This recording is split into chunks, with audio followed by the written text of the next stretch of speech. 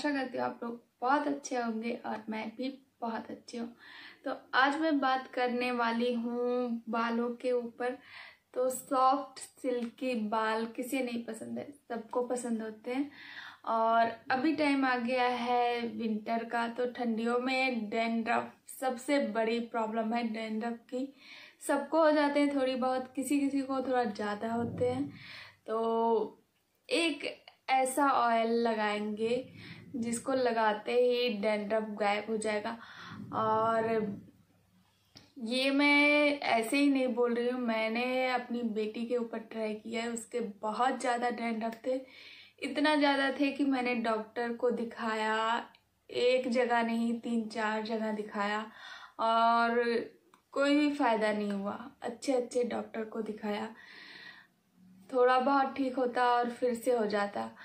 लेकिन मैंने इस ऑयल को जब से लगाया है, तब से बिल्कुल भी डैंड्रफ नहीं है और बाल इतने अच्छे हो गए हैं, घने हो गए हैं और एकदम स्ट्रेट है।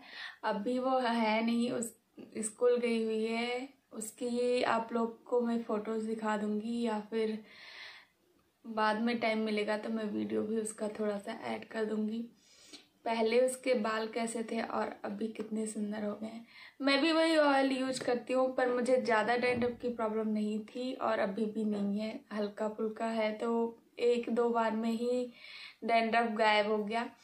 उसको मैंने एक वीक तक यूज़ किया था तो उसका भी ठीक हो गया। अगर आप लोग एक बार इस ऑयल को ट्राई करोगे ना तो आप लाइफ टाइम इसी को यूज़ करोगे।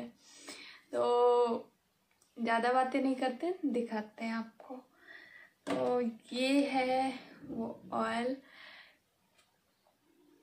इसको मैंने इतना ज़्यादा यूज़ किया, देखो, बस इतना थोड़ा सा बचा है। और ये मेरी पहली बॉटल नहीं है। पता नहीं कितना, मुझे तो याद भी नहीं है, मैं यूज़ कर चुकी हूँ। अब ये अभी जो है वो वाला इतना बचा हुआ है। तो मेरी बेटी, हम दोनों सेम ऑयल यूज़ करते हैं। तो अभी सबसे अच्छा है कि ठंडियों में इसको बहुत अच्छे तरीके से यूज़ कर सकते हैं। गर्मियों में बल्कि इतना यूज़ नहीं करते। इसको बोलते हैं कस्टर ऑयल और हिंदी में बोलते हैं एयर एंड का तेल। तो ये थोड़ा सा गाढ़ा होता, चिपचिपा होता बहुत ज़्यादा। तो मैं आप लोग को दिखाती हूँ।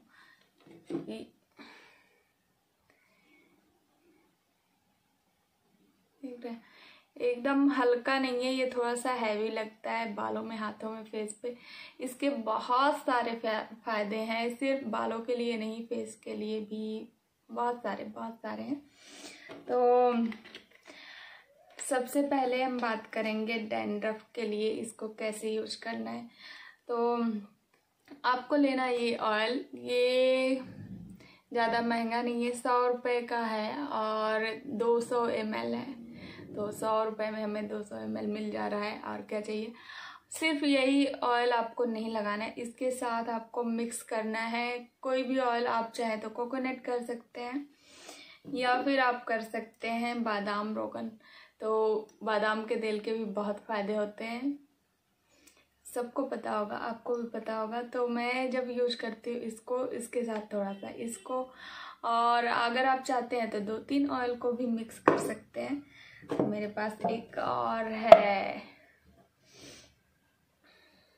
आप सभी जानते होंगे, जैतून का तेल। तो इन तीनों को मैं मिक्स करती हूँ और थोड़ा सा इसको गर्म कर लेंगे क्योंकि अभी ठंडियों का टाइम है।